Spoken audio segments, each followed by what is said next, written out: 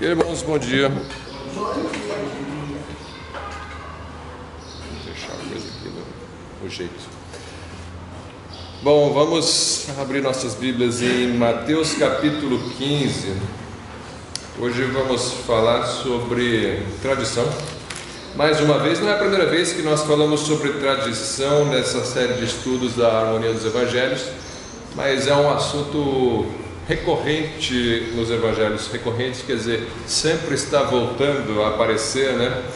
Algo que algo com o qual Jesus e os discípulos eram confrontados pelos, pelas autoridades do judaísmo da época, os chamados, hoje seriam os rabinos, né? os fariseus, os saduceus, os escribas, e não é diferente no Mateus 15, eu vou ler inicialmente do versículo 1 até o, versículo 9. Todos acharam aí?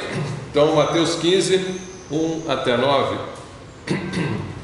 Então, chegaram a Jesus uns escribas e fariseus de Jerusalém, dizendo: Por que transgridem os teus discípulos a tradição dos anciãos, pois não lavam as mãos quando comem pão? Ele, porém, respondendo, disse-lhes: Por que transgredis vós também o mandamento de Deus pela vossa tradição?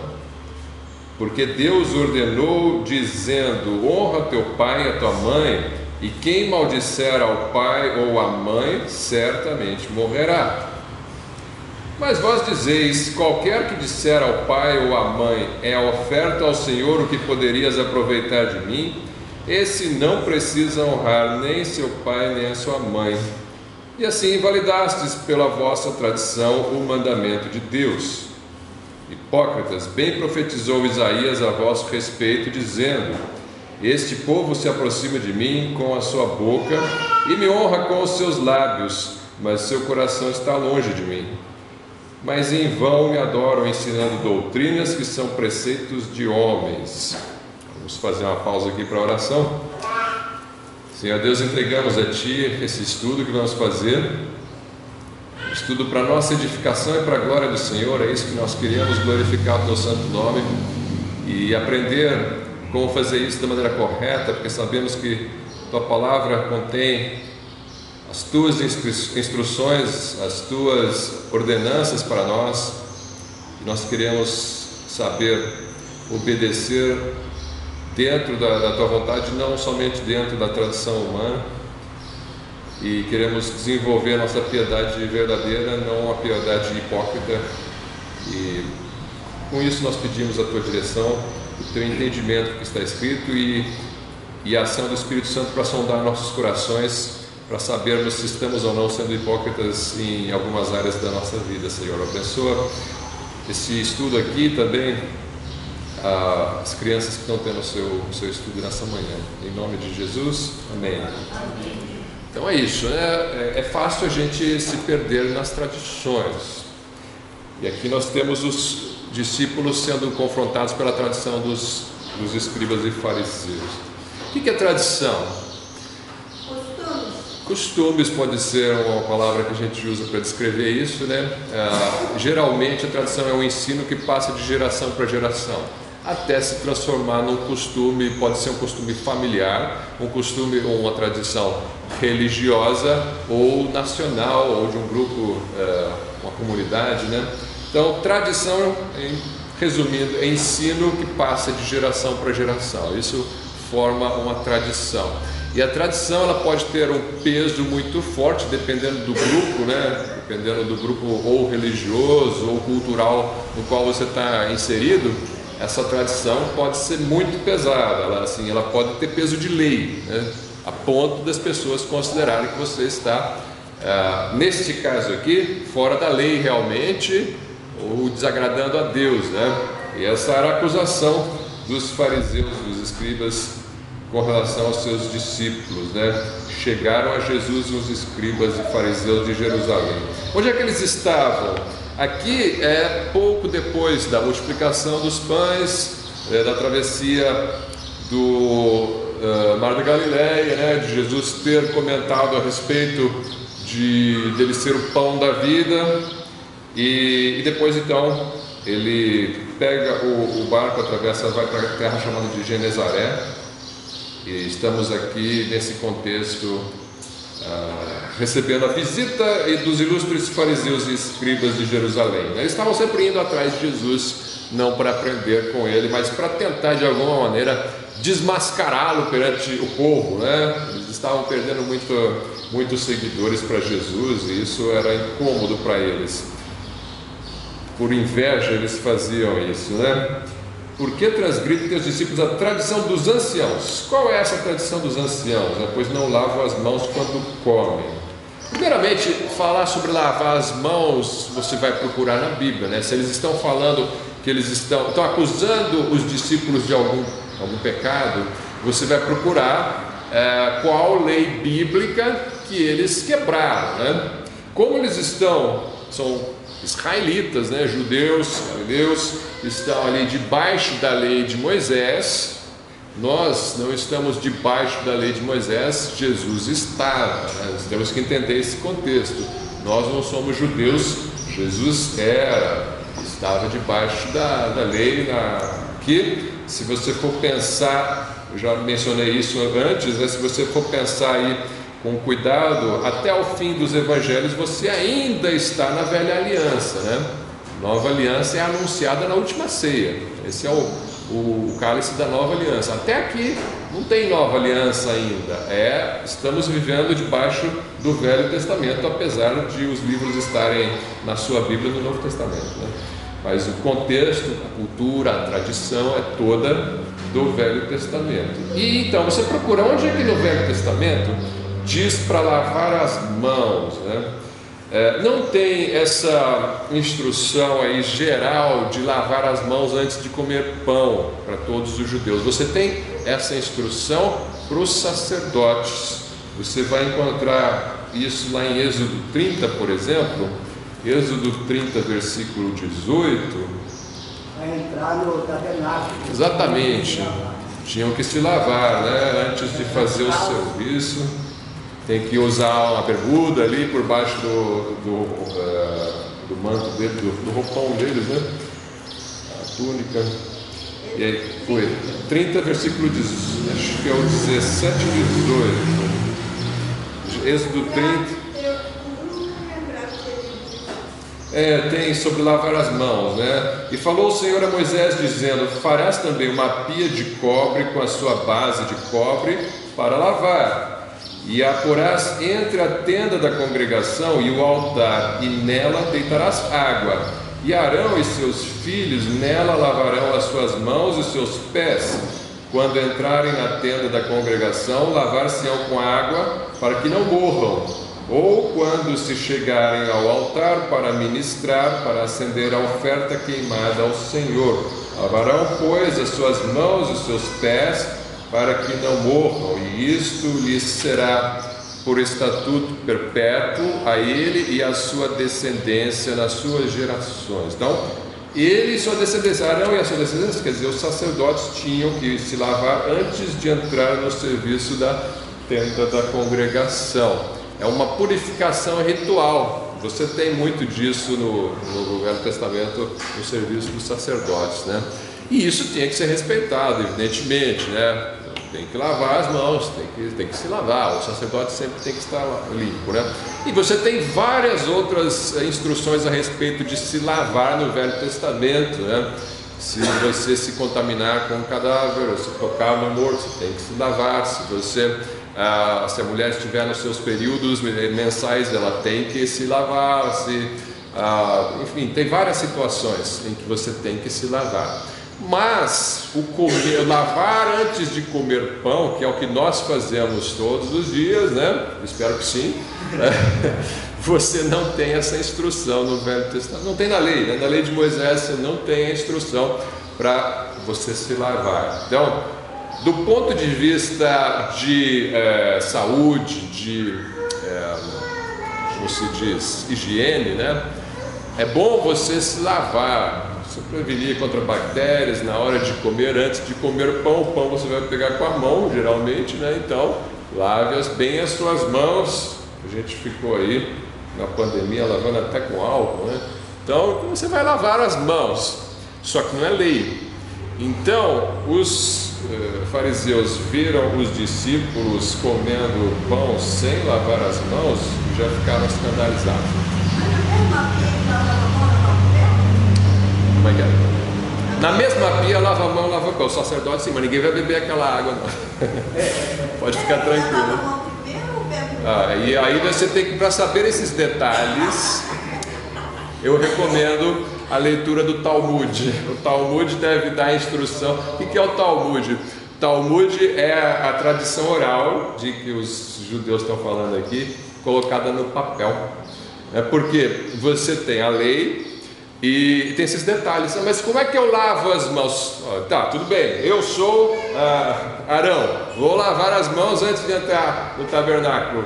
Como é que é? Primeiro as mãos, primeiro eu vou meter os pés aqui, eu tenho que pegar a água daqui e jogar nos pés. Né? Eu quero os detalhes. Aí os detalhes tinha uma tradição oral para explicar isso daí. Não é lei de Deus, não está na Bíblia os detalhes. Então eles tinham uma prática e eles decidiram como vai ser essa prática. Os rabinos acham que Deus comunicou para Moisés essa tradição oral aí e ele não pôs no papel tenho as minhas dúvidas, né? mas enfim, é, eu creio que muito dessa, tradi dessa tradição foi elaborada pelos homens ao longo do tempo. Com certeza, essa parte aqui que Jesus está falando foi elaborada pelos homens, porque senão Jesus teria aprovado, né? Então, é, você tem aí os homens, porque é necessário, né? Certas tradições são necessárias, não está na lei, não está escrito, mas eu quero saber como fazer. Por exemplo, você sabe que tem que circuncidar a criança. Eles circuncidavam com uma pedra afiada. Mas os detalhes, tinha um anestésico, você vai lavar antes, lavar depois, e como que faz o procedimento não está escrito na Bíblia. Então eles têm que criar uma tradição oral, uma tradição de como fazer isso. Eles tinham isso, eles passavam de pai para filho essa tradição. Como que é feito, os detalhes. Então essa tradição oral. E essa tradição oral, ela não foi escrita até aí os primeiros, acho que primeiro século aí do, da era é, depois de Cristo, o rabino Akiva começou a escrever a tradição oral. Ele escreveu e girou a Mishnah. Mishnah é a tradição oral escrita. Aí já não é mais oral, é escrita.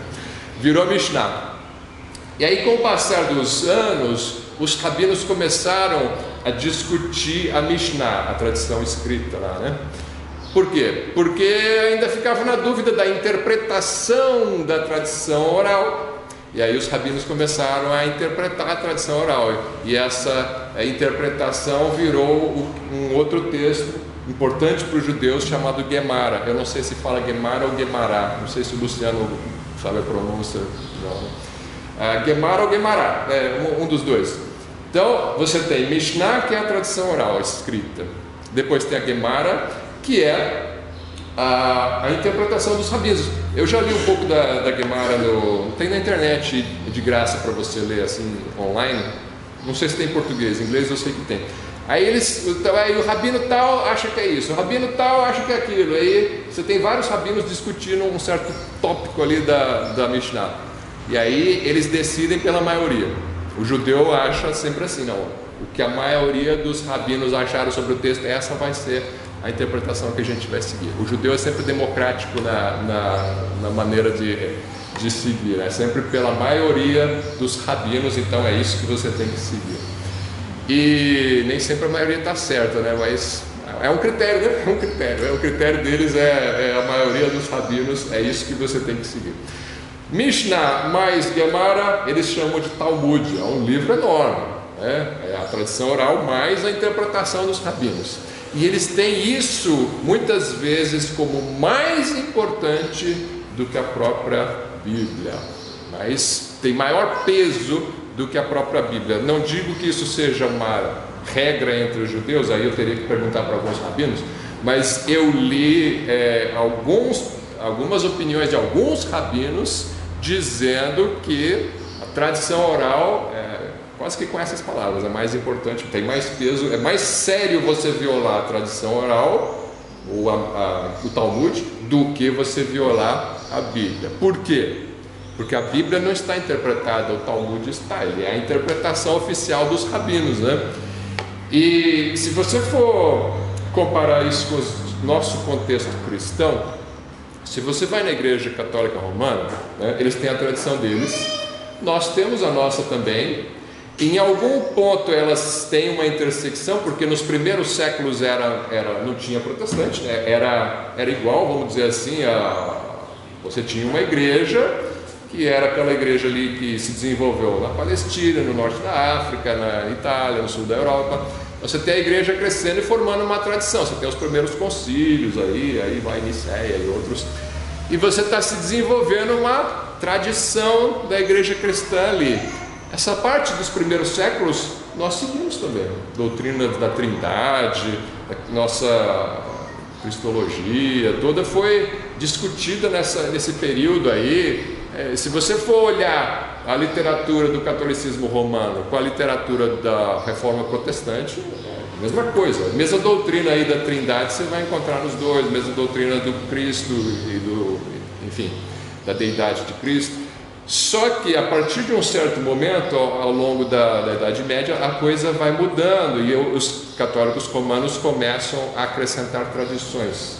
Não só interpretar a Bíblia, mas acrescentar revelações baseadas numa suposta tradição oral. Eles têm uma tradição deles e eles foram começando a transformar essa tradição em lei.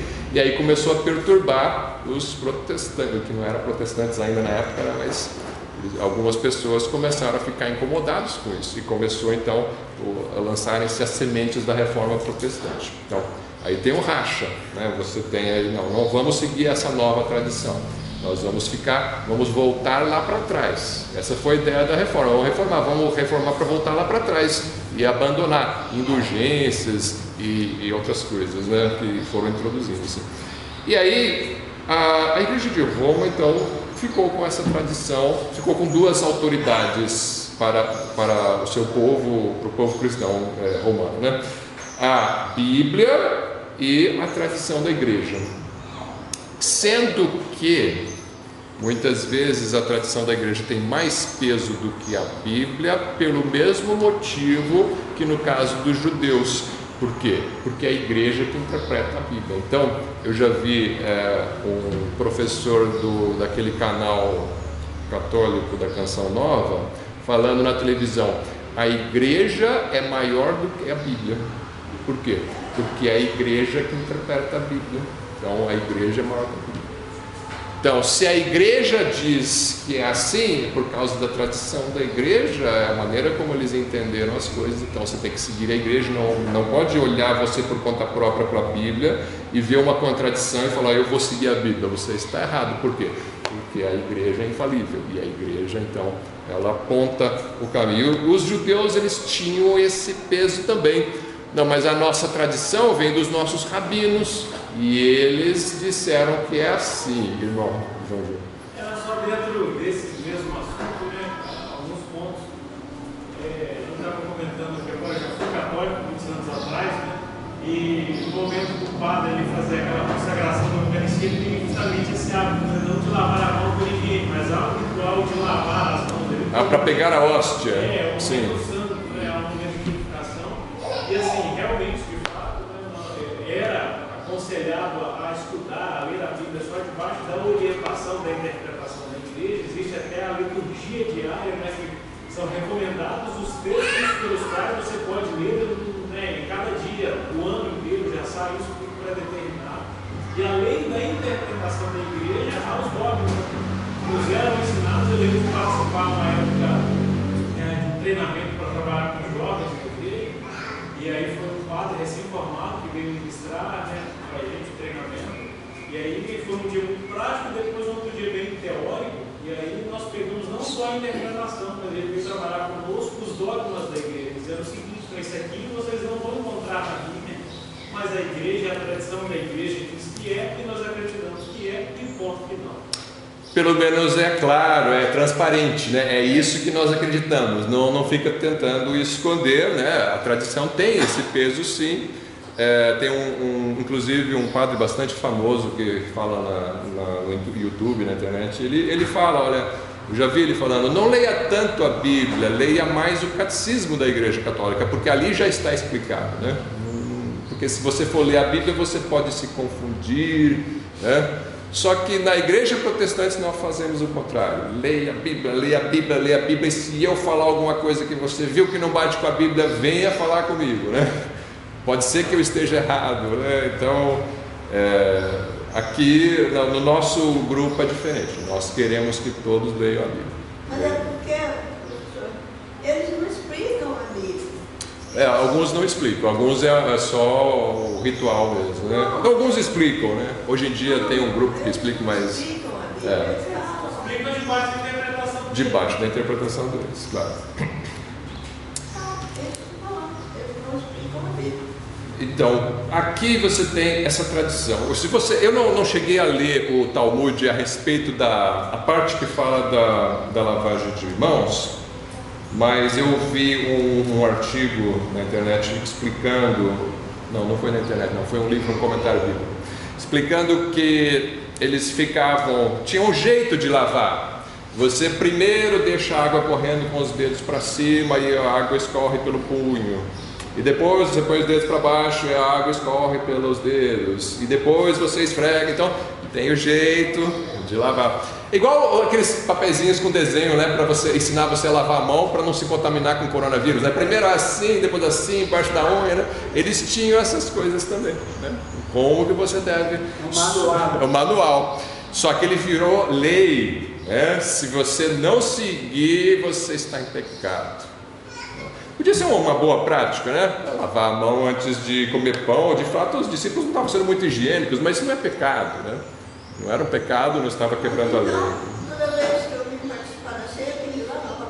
Sim, e eles tinham que ir lavar a mão e mais. Se você, é, não, a gente não, não se você, se a irmã estivesse no contexto judaico, ia ter que se lavar. Ah, e eles têm, inclusive, isso eu li.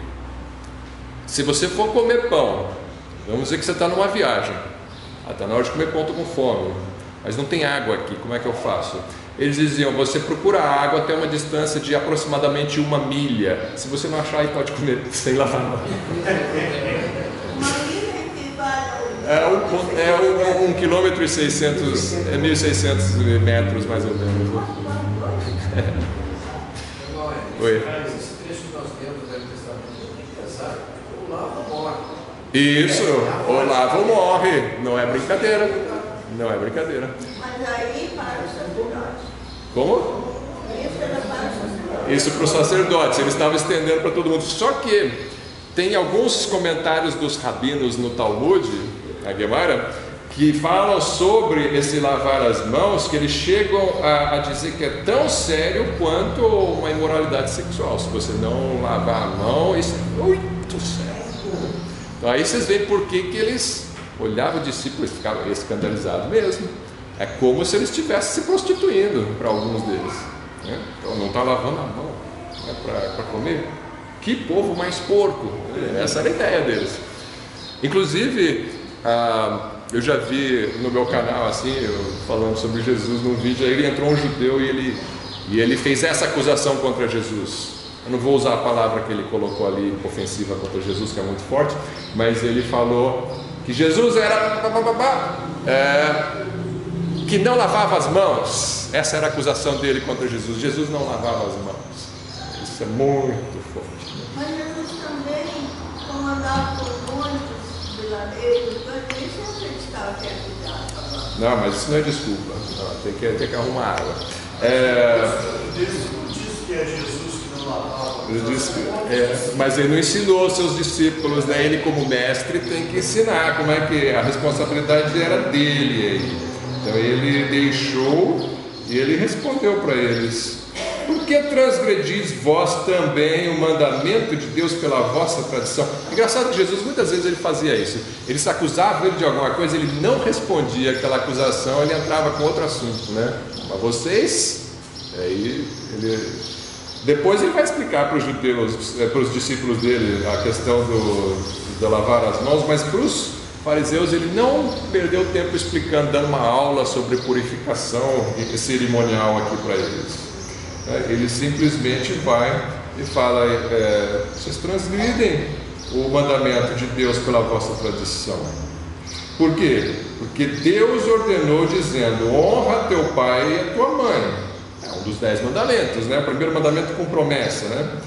E quem maldisser ao pai ou à mãe, certamente morrerá. Tá, então, isso aqui sim tem algo sério, né? Honrar pai e mãe. Mas vós dizeis: qualquer que disser ao pai ou à mãe, é oferta ao Senhor o que poderias aproveitar de mim. Esse não precisa honrar nem a seu pai nem a sua mãe. E assim invalidastes pela vossa tradição o mandamento de Deus. Então, aqui é o, Corban, né? o Marcos vai, vai usar a palavra Corban aqui, depois a gente vê o livro de Marcos, que dos evangelhos você tem o Mateus 15 e o Marcos 7 que falam essa mesma história. Tá? Então, é, essa tradição, o, o que, que é o, esse oferta ao Senhor que poderias aproveitar de mim? É oferta ao Senhor. O que quer dizer isso? É, eu, eu, devo, eu devo dar dinheiro para os meus pais, né? eu devo ajudá-los financeiramente. Isso é honrar pai e mãe. Honrar pai e mãe não é só obedecer. Obedecer é quando você é criança, né? É, vai crescendo, está debaixo da, da casa do seu pai, você obedece. E não amaldiçoa, não pode maldizer pai ou mãe, você dava pena de morte na lei. Mas cresceu, casou, saiu de casa, você vai ter a sua própria casa, sua própria família, mas financeiramente agora você vai dar um retorno, né? Os pais investiram em você financeiramente até uma certa idade e depois a coisa inverte. O filho deve investir financeiramente no pai, no bem-estar dos pais. Isso é honrar pai e mãe.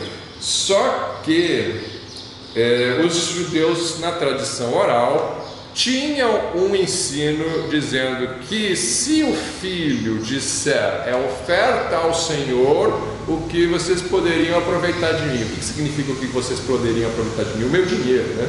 O dinheiro é o que o pai poderia aproveitar do filho. Então, o meu dinheiro eu daria para os meus pais, mas em vez de dar aos pais, eu consagrei a Deus. Então, não preciso dar para os meus pais. Então eles tinham essa tradição oral. Se você consagrar o seu dinheiro a Deus, aí você não precisa dar para os pais. O que, que significa consagrar a Deus? Significa que eu vou dar todo o meu dinheiro a Deus? Não, ele pode ficar com você. Só que você usa ele consagrando a Deus, mas ele fica com você. Você faz que você entender que a vontade de Deus você faz. Só que aí é, é, é, subjetivo, né? Você que decide no final das contas. Você não, não tem uma, uma voz do céu dizendo o que, que você deve fazer com o seu dinheiro. Então você vai tomar a decisão que você vai fazer com o seu dinheiro. E se você entender que, ah, não, Deus disse que não preciso dar para os meus pais, então eu não preciso dar para os meus pais. Sendo que a voz do céu já disse que você tem que dar. A voz do céu está aqui, né? Aqui está escrito que você tem que honrar. E aí a pessoa fala, não preciso é, e, os, e os sacerdotes, então, eles estavam ensinando isso. Jesus calou a boca. Calou a boca. Olha a tradição, eu mostrei aqui claramente uma contradição entre o seu ensino e o ensino da palavra de Deus, né? No, tem um texto do Novo Testamento também, é, 1 Timóteo 5,8, eu acho. Vamos ver. 1 Timóteo 5,8.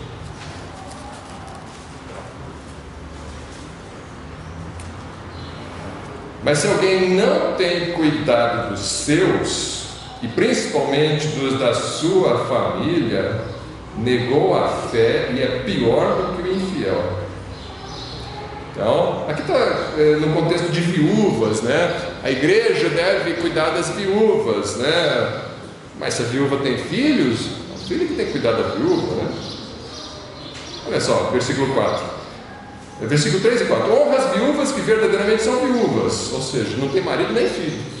Mas eh, se alguma viúva tiver filhos ou netos, aprendam primeiro a exercer piedade para com a sua própria família e a recompensar seus pais, porque isto é bom e agradável diante de Deus. Está desamparada a viúva, tem filho, tem neto. Não é a igreja que tem que estar, a igreja vai ajudar uma emergência, se o filho não pode, mas responsabilidade primordial é dos filhos, é dos netos, é da família. Você tem que aprender a exercer misericórdia na sua casa. Ah, não gosto da minha mãe, não me dou com ela, fica pegando meu pé. E tá aí. Né? Ela não cuidou de você quando você era pequeno? Não trocou tuas fraldas, né? não alimentou, não deu dinheiro, não cuidou, não vestiu, não alimentou tudo. E você cuspindo nela ou não, ela fez. Agora, porque ela pega no seu pé, você não vai fazer? Como? Né? Não tem como. É, é para cuidar da casa. Por mais difícil que seja, por mais que seja ingrato, porque os filhos às vezes são ingratos também com a gente, não são? Eles são. É, a gente cuida e eles não, às vezes não honram de volta quando são pequenos, né? Mas você cuida do mesmo jeito. Quando a pessoa envelhece, às vezes ela fica mais ranzinza, fica. Às vezes se comporta que nem criança, se, se atinge a senilidade, não estou falando mal dos velhos, não, gente, eu vou ficar velho também. Mas assim, às vezes a, a, o cérebro também começa a não funcionar muito, muito bem, a senilidade vem, começa a falar mal, a tratar mal. Nem todo mundo é assim, evidentemente, mas tem alguns. Teimosia. Teimosia, né? E acha que tem que mandar em tudo na casa. Olha, tem que honrar. Não é honrar os bons pais, é honrar os pais. Né? Então tem que honrar.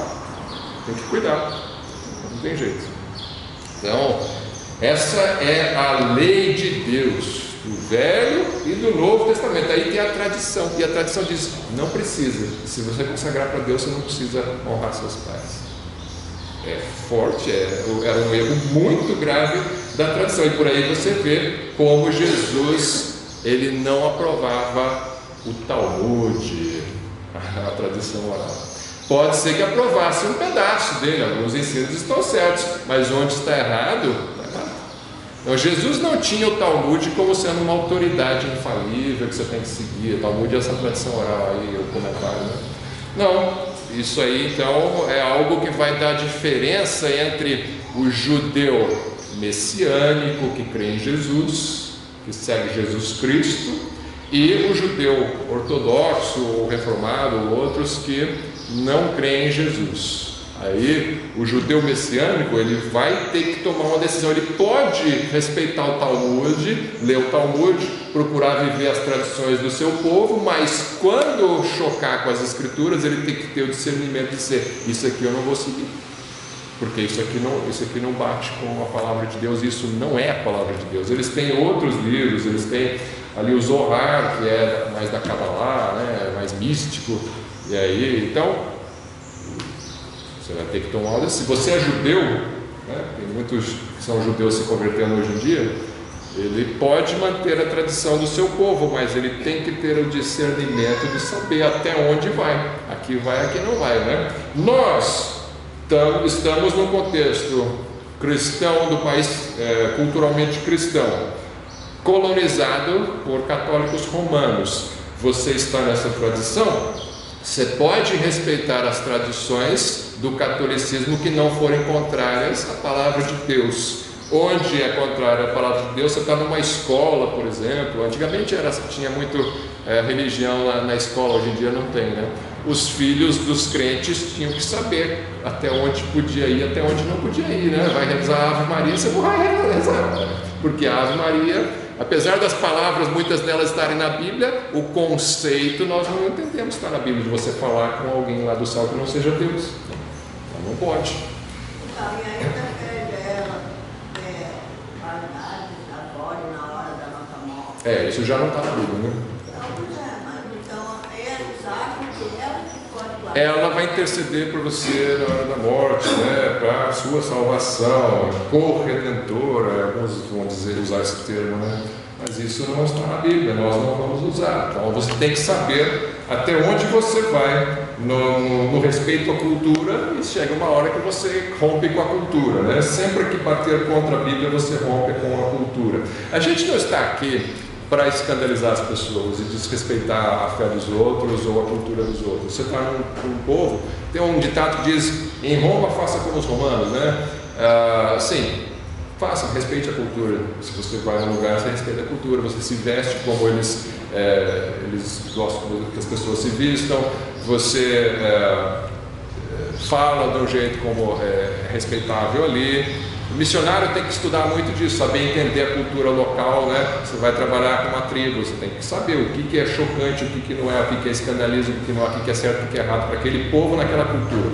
Agora, é, você tem uma, uma lei que não pode ser quebrada. A lei você vai seguir, a lei de Deus. Mas você tem que entender a, aquilo que Deus quer de você. Mas a cultura em geral você vai respeitar, até onde ela não choca com as escrituras.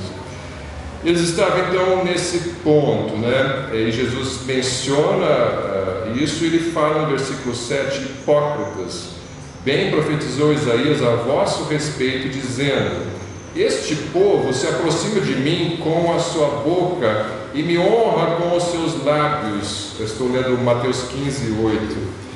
Me honra com os seus lábios, mas o seu coração está longe de mim mas em vão me adoram, ensinando doutrinas que são preceitos de homens. Isso aqui ele está citando Isaías 29, 13.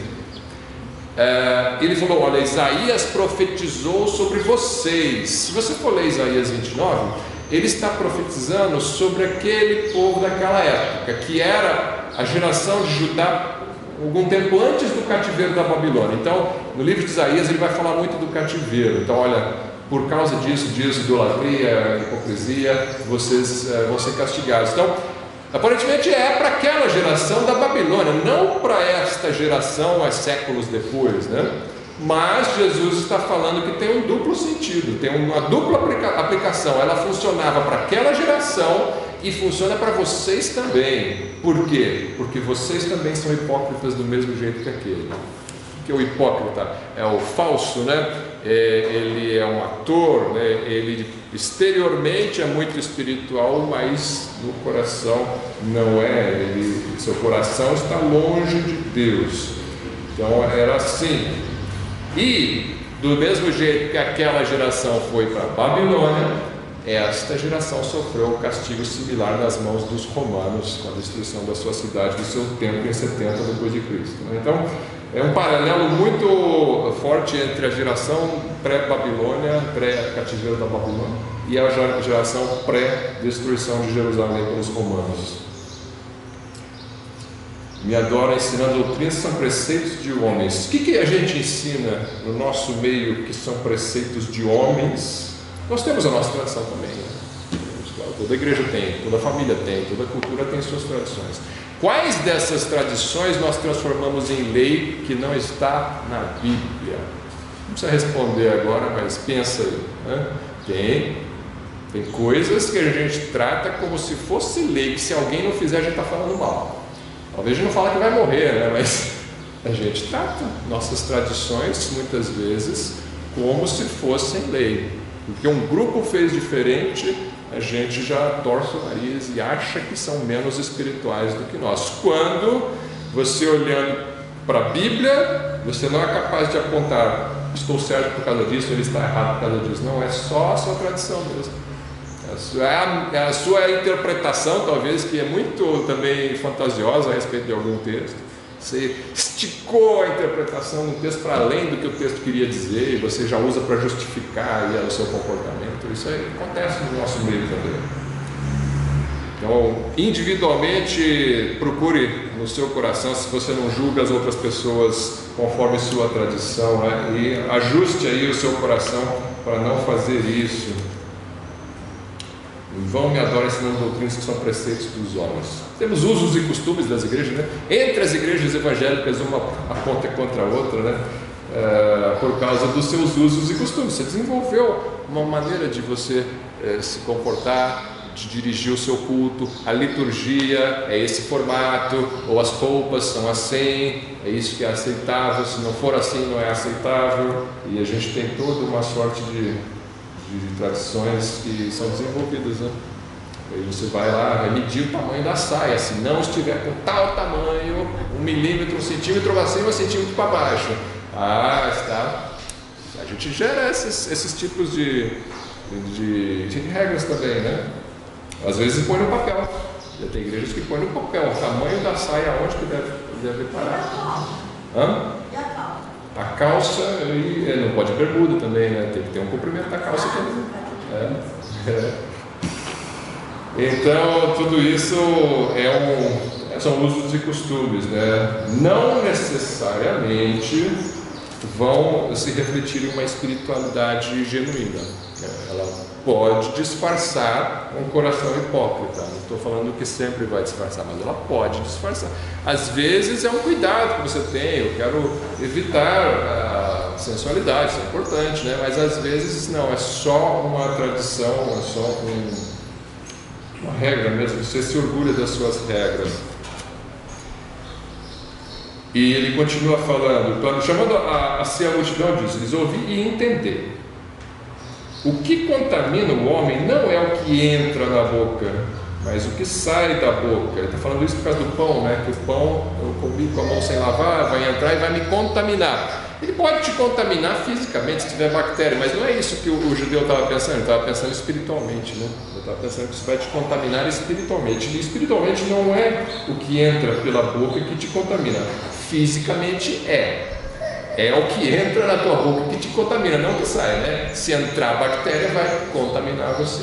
Mas isso é fisicamente. Espiritualmente, não. Não é o que entra pela boca que vai te contaminar, é o que sai. Isso contamina o homem. Então, acercando-se dele, os seus discípulos disseram: Sabes que os fariseus, ouvindo essas palavras, se escandalizaram? Escandalizaram, né? É, ele, porém, respondendo, disse: Toda planta que meu Pai celestial não plantou será arrancada. Deixai-os, são cegos condutores de cegos. Ora, se um cego guiar outro cego, ambos cairão na cova. É, aí, é, ele fala assim: a, a, planta que meu pai não plantou será arrancada. O que ele está falando?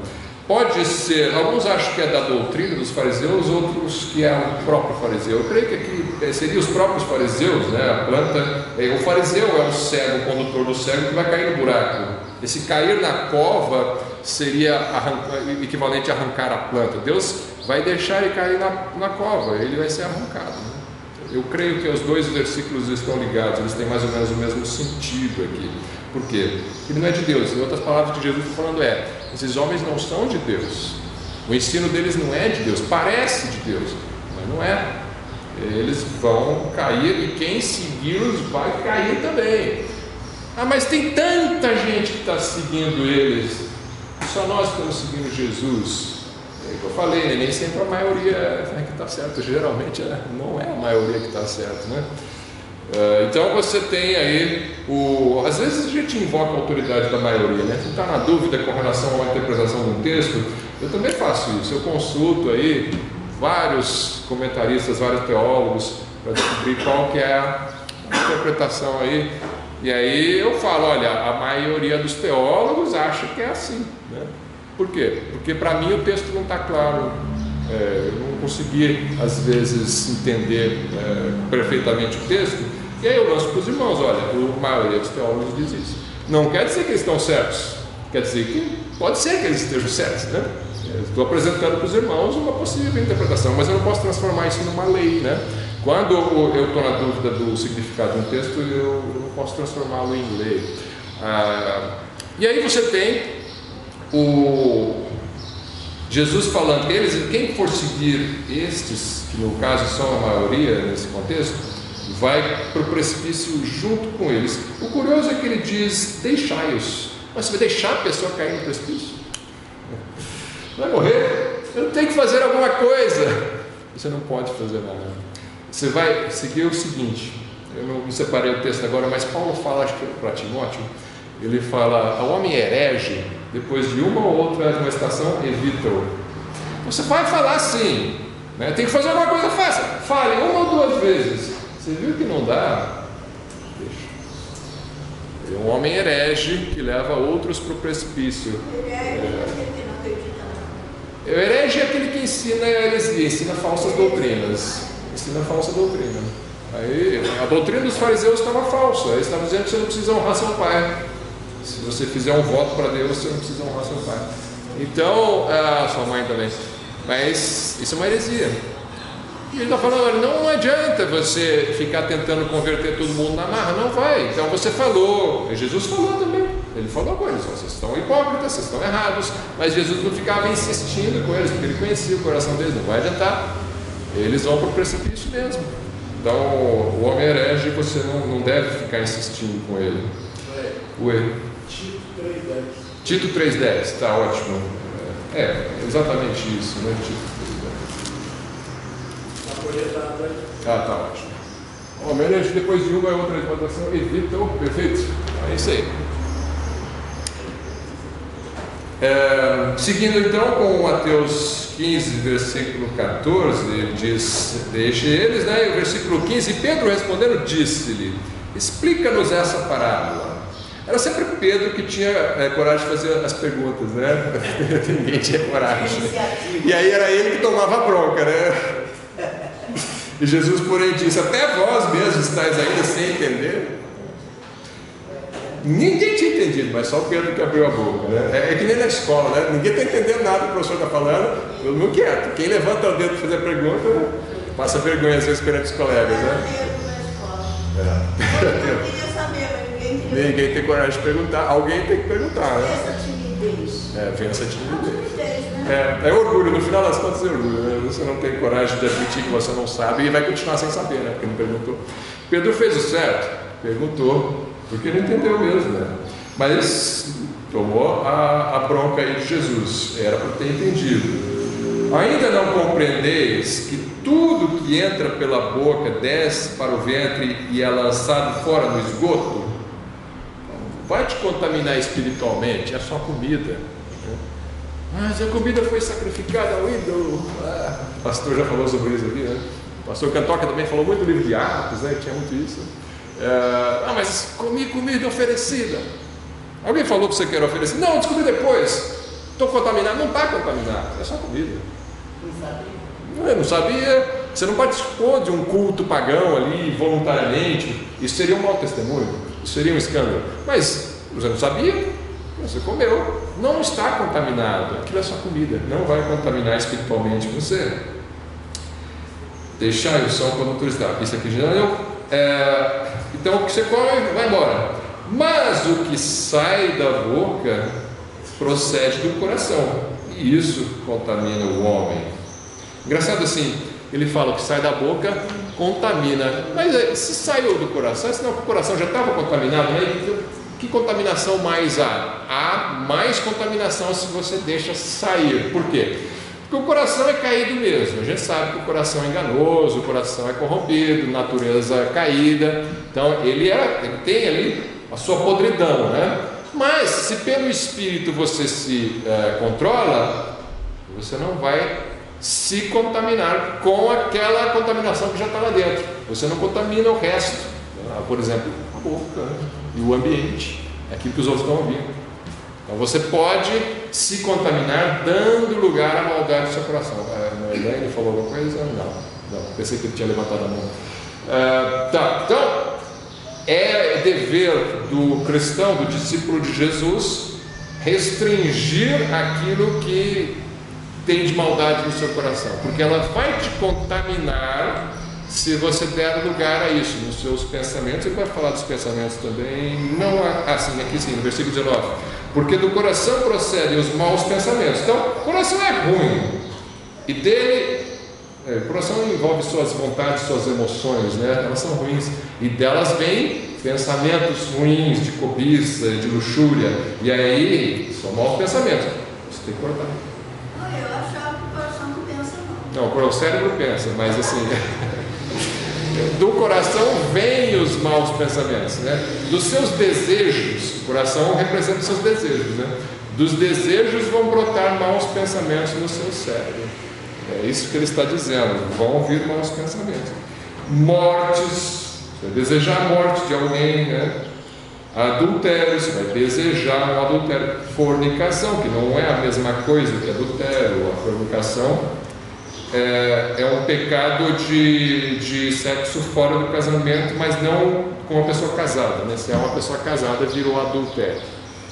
Na lei, a o adultério era punido com pena de morte, a fornicação não. A fornicação tinha ali um procedimento, tinha que dar, pagar o dote para a moça, tinha que. Aí o pai ia dizer se ela vai casar ou não vai casar. né? Se casar, nunca mais pode divorciar dela. né? Se o, o rapaz tirou a virgindade da moça, o pai ia decidir qual, o que, que ele tem que pagar, se vai casar, se não vai casar, se vai só pagar o dote e não vai casar. É, o pai decide. Vai dar moça. O pai da moça, é. O pai da moça decidia.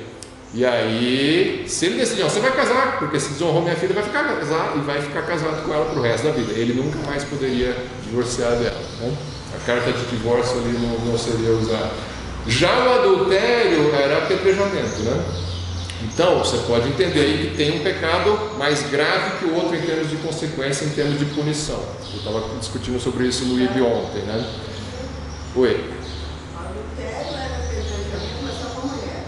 Não, não, é também. Nada que o homem fosse apedrejado, não. É que o único apedrejamento que eu me lembro da Bíblia é aquele que trouxeram para Jesus aquela mulher, né? Não lembro se tem algum outro, mas naquele era um caso onde não apareceu homem. Não quer dizer que não era apedrejamento. Você pode ler na, na lei que, que o homem também, se o homem cometeu adultério, dormiu com a mulher do outro, pode saber que vai ser morto. O próprio homem matava você, o próprio marido matava você se você dormiu com a mulher dele. Não, é hoje. Hã? É. É, em alguns lugares ainda se faz assim, né? Você vai no sertão ali, vai mexer com a mulher do outro para ver se isso não acontece, né? Então, é, sim, na lei tem isso aí. E aí, isso tudo procede do coração. Então, o coração que contamina o ser humano em todas as áreas da sua vida não é a comida, não é a mão suja. Né? É isso que ele está tentando ensinar para os discípulos. São essas coisas que contaminam o homem. Mas comer sem lavar as mãos, isso não contamina o homem. Pronto, então o relato de Mateus 15 termina aqui. Vamos, voltar, vamos lá para o Marcos 7, que ele conta a mesma história, só que ele dá alguns detalhes diferentes.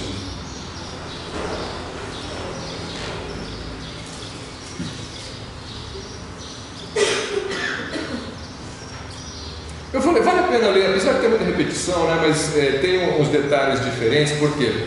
Lembra que é, o pastor sempre fala que o, o Marcos é um judeu escrevendo para gentios, né? Mateus é judeu escrevendo para judeu. Então, o judeu já conhece a tradição oral, o judeu já conhece a lei, o judeu não precisa de explicação dessas coisas, já conhece. Então, a história em Mateus é mais resumida. No Marcos, ele explica mais, porque ele sabe que quem está lendo é estrangeiro, é gentil, então ele tem que explicar um pouco mais da tradição. Né? Então, ele fala assim, Marcos 7, versículo 1: E ajuntaram-se a ele os fariseus e alguns dos escribas que tinham vindo de Jerusalém. E vendo que alguns dos seus discípulos comiam pão com as mãos impuras, isto é, por lavar, os repreendiam. Já dá esse isto é aqui para explicar para quem está lendo. O que é mão impura? É por não lavar. E aí ele vai explicar no versículo 3 e 4 o contexto dos judeus. Ele fala: Porque os fariseus e todos os judeus, conservando a tradição dos antigos, não comem sem lavar as mãos muitas vezes. E quando voltam do mercado, se não lavarem, não comem. E muitas outras coisas há que recebam para observar, como lavar os copos e os jarros e os vasos de metal e as camas. Tá, então, eles eram muito aciados, muito limpos, aí os judeus, né? Ele, você vê que ele está explicando como se fosse uma aula. Ele está explicando, olha, os judeus fazem assim, quando eles vão para o mercado, eles fazem isso. Ele está falando com outro grupo, está falando para gentios, né? Tá explicando como que os judeus fazem. Mas Mateus não precisava explicar isso. O, o leitor do Mateus era, era judeu e já sabia, né? É, depois perguntaram os fariseus e os escribas, por que não andam os teus discípulos conforme a tradição dos antigos, mas comem o pão com as mãos por lavar? E ele respondeu, respondendo, disse-lhes: Bem profetizou Isaías acerca de vós, hipócritas, como está escrito, este povo honra. Aí ele está citando Isaías antes de citar o Corban. Ele inverteu, a ordem está um pouco diferente. Se você comparar a ordem das coisas aqui com o Mateus, você vai ver que está um pouquinho diferente. Mas é, são as mesmas coisas que ele fala, mas ele colocou em outra ordem. Vamos para o versículo 8, porque deixando o mandamento de Deus, retendes a tradição dos homens, a tradição mais importante, como o lavar dos jarros e dos copos. e fazeis muitas outras coisas semelhantes a estas. Isso aí não tinha lá no Mateus. Então, ele condena não só esta transformar em lei você lavar as mãos antes de comer. Está falando também, olha, vocês ficam aí falando que tem que lavar jarro, lavar copo e fazem outras coisas. Então, ele está dando uma crítica geral assim para a tradição oral, até para coisas que são boas, como lavar mão, lavar copo, lavar jarro, tudo bom, tudo correto, mas assim, não pode transformar isso em religião. Você não pode julgar as pessoas religiosamente porque elas é, não, não, praticam a higiene do jeito adequado. Isso aí é questão de você educar a pessoa. Olha, é melhor se fizer assim, porque você pode pegar uma doença. Agora, se transformar isso em impureza espiritual é errado. Né? Ele continua explicando ali, uh, ali vai aparecer no versículo 11 a palavra corban que eu tinha falado, mas vós, porém, dizeis: se um homem disser ao pai ou à mãe, aquilo que poderias aproveitar de mim é corban, isto é, oferta ao Senhor. Essa palavra corban apareceu do Mateus. Ele está explicando aqui para o leitor judeu também o que, que significa o corban. Nada mais lhe deixais fazer por seu pai ou sua mãe. Você não está deixando é, ele ajudar seu pai e sua mãe. Você está invalidando a palavra de Deus. É, versículo 3: invalidando assim a palavra de Deus pela vossa tradição, que vós ordenastes, e muitas coisas fazeis semelhantes a estas. E chamando a si toda a multidão, disse-lhes: Vós, ouvi-me vós todos, compreendei. Nada há fora do homem que entrando nele possa contaminar, mas o que sai dele, isso é que contamina o homem. Até carne de porco, não podia pensar. Né? Ah, não, aí já é demais, né? Bacon, é, não, aí já está demais, né? Aí os judeus, os próprios discípulos ficaram pensando, né? Será que ele falou isso mesmo que eu ouvi que ele falou? Né? Jesus comia porco? Não, ele estava debaixo da lei. Ele come animal permitido pela lei. Quais são animais permitidos pela lei? Deixa eu ver aqui, é Levítico Vamos pegar aqui a lista, Levítico 11, eu acho.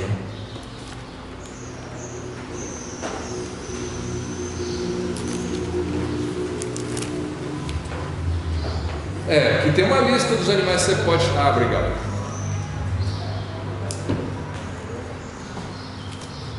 A irmã lavou as mãos antes de pegar água.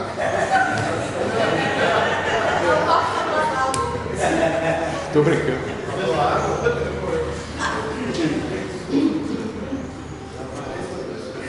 Essa água está ungida.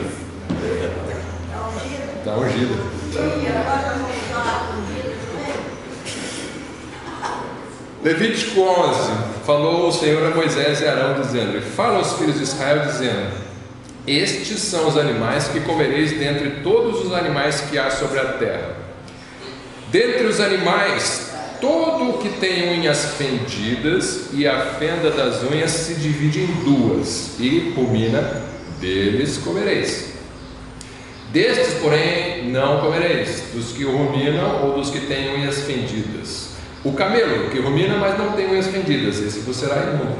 E o coelho, porque rumina, mas não tem as unhas fendidas, esse vos será imundo. E a lebre, mesma coisa, ele vai falar do porco no, capítulo, no versículo 7, porque tem unhas fendidas, mas não rumina, este vos será imundo. É, tá, ele continua, vamos ver. Tem mais os animais marinhos, né? versículo 9. De todos os animais que há nas águas, comerei o seguinte: todo que tem barbatanas e escamas. Cação tem escama. Tubarão não tem, né? O cação. Cação não tem. Não tem, não pode comer cação, gente. Alguém comeu cação assim? Nas águas, nos mares e nos rios, não, esses comereis. Mas todos os que não têm barbatanas nem escamas, nos mares e nos rios, todo o réptil das águas e todo o ser vivente que há nas águas, eles serão para vós abominação. Não pode comer. Ele vai dar as aves depois também, camarão também não pode. Não. É, camarão não tem barbatana nem escama. então não pode, gente. Não adianta você. Como é que é? Rã? Não, rã acho que não. Não tem casco fendido? Então não pode, gente. Só que Só que tem o seguinte. Então, vamos ver. Vamos ver o que Jesus falou. Vamos seguir no Marcos 7. Ele falou que não é o que entra que contamina. Versículo, Marcos 7, versículo 18. Ele diz: Eles assim também podem estar sem entendimento. Não compreendeis que tudo que for, o que de fora entra no homem não pode contaminar, porque não entra no seu coração, mas no ventre e é lançado fora no esgoto, tornando puras todas as comidas.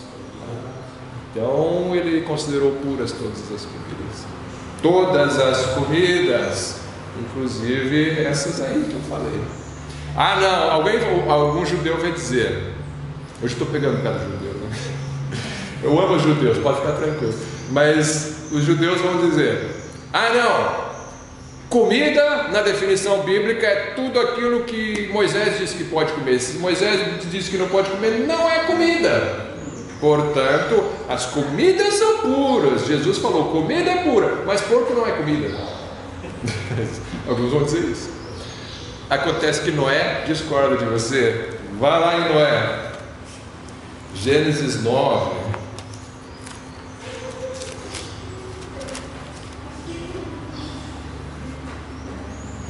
Quando Noé sai da arca,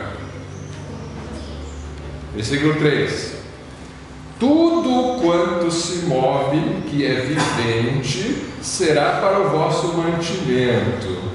Tudo vos tenho dado como erva verde. Carne, porém, com sua vida, isto é, com seu sangue, não comereis. Então pode comer o que se move. Qualquer animal você pode comer. E os judeus, na verdade, eles vão dizer isso a respeito dos gentios. Você pegar e conversar com o rabino, rabino da linha, pelo menos o rabino da linha Neinoa, ele vai dizer isso. Ele vai falar: não, você é gentil, você pode comer. Noé deixou, você pode comer.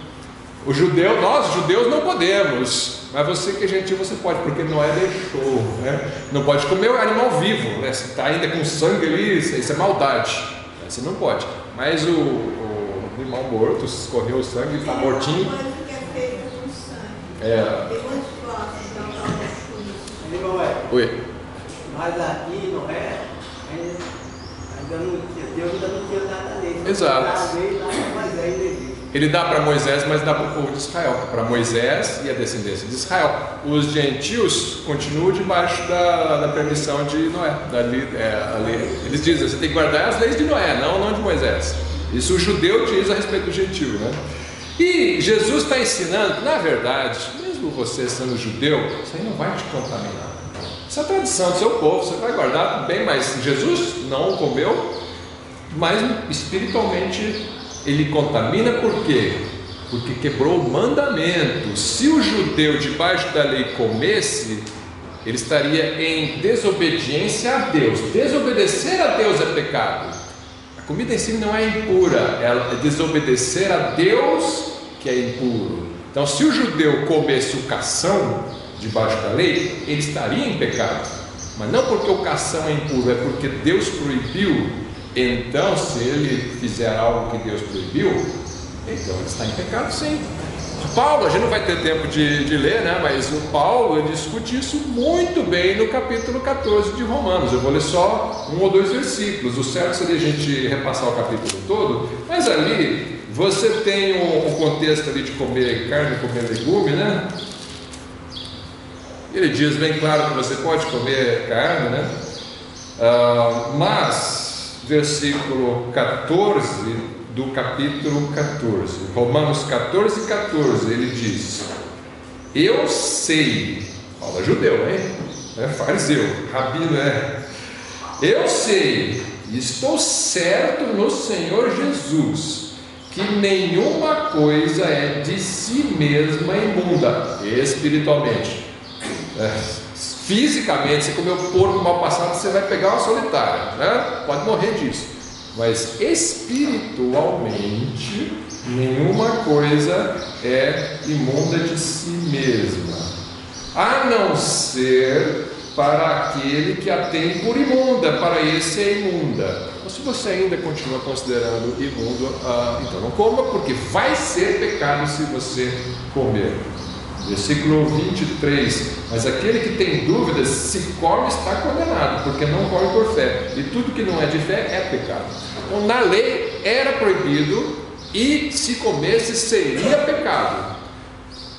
Nós que não estamos debaixo da lei, não tem essa lei sobre nós, então você pode comer, se comer não é pecado. Mas se você achar que está debaixo da lei que não pode comer, se você comer, está pecando e está impuro, sim. Não porque o animal é impuro, mas porque você desobedeceu a Deus no seu coração. Você foi rebelde contra o seu entendimento. Primeiro, desculpa, irmã, a irmã tinha levantado, depois eu falo, é, eu deixo a palavra. A irmã tinha.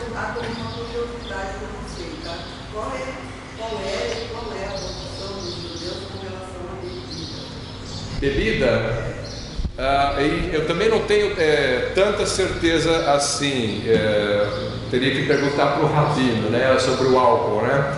É, tem dias que você não pode comer, tomar, né? Tem os dias sagrados que você não pode ter nada fermentado, né? Então o vinho é fermentado, você não pode tomar. Mas assim no dia a dia, em geral, eu creio que eles não têm é, proibição contra isso. Mas eu também não tenho certeza não.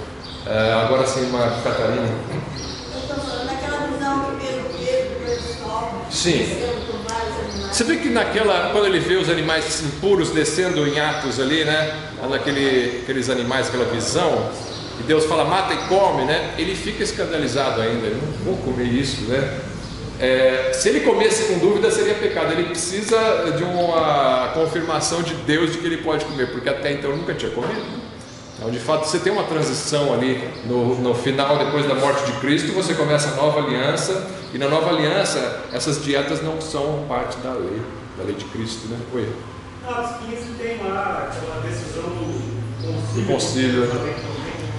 É, ele fala, vocês não podem impor a lei sobre os gentios. Ali, muitas das questões de hoje que estão sendo debatidas nas igrejas e no YouTube, em todo lugar, que o pessoal fica falando, você não pode comer carne de porco, você não pode isso. Tudo seria resolvido ah, se as pessoas voltassem ali para o livro de Atos, porque tudo foi discutido, a gente já passou por tudo isso. A igreja já teve essa crise, como não como, como não como, sábado ou não sábado, é, isso aí já foi discutido, já houve essa crise, já foi resolvida em Atos 15, né? Onde eles debateram ali acaloradamente a questão e chegaram à conclusão, os apóstolos, "Olha, não vamos impor essas coisas da lei cerimonial para os gentios, a não ser a comida é, sufocada com sangue e imoralidade e alguma outra coisa.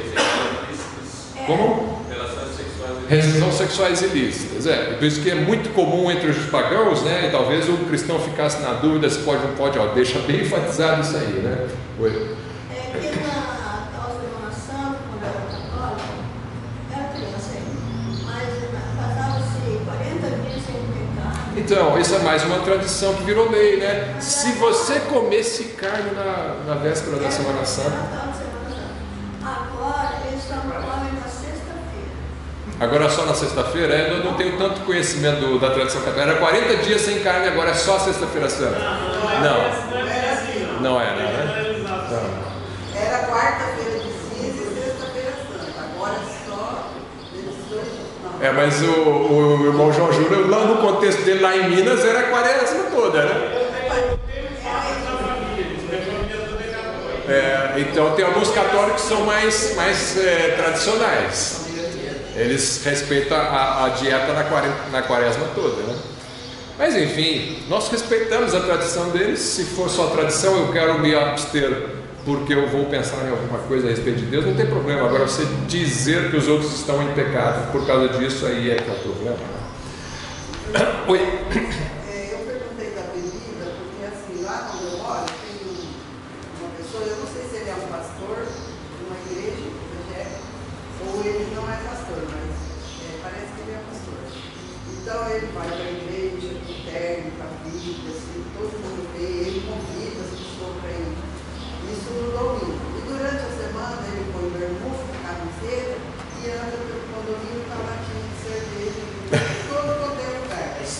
Então, eu, não é a bebida que, a, que seria o pecado, é o escândalo. Você tem que conhecer o contexto do seu, do seu povo, né? Se isso vai gerar escândalo, você não pode fazer. E eu creio que aqui você não deveria fazer isso. Pelo pouco que eu con- conheço da cultura de São Paulo, isso aí não é aceitável, né? Mas, enfim, é, não vou criar a lei também disso, né? Eu jogar pedra no outro. Depois contra todos os evangélicos, uma cena dessa. Porque todo mundo fala, você não é evangélico, então você também faz igual. Você depõe contra Depõe, tá. né? É muito. É, é, esse cuidado que Paulo fala aqui, né? O versículo. Eu vou, ter, vou terminar com isso aqui, o versículo 21. Bom é não comer carne, nem beber vinho. É, não, vou pe- pegar o 20 também. Não destruas por causa da comida a obra de Deus. É verdade que tudo é limpo, mas mal, mas mal vai para o homem que come com escândalo.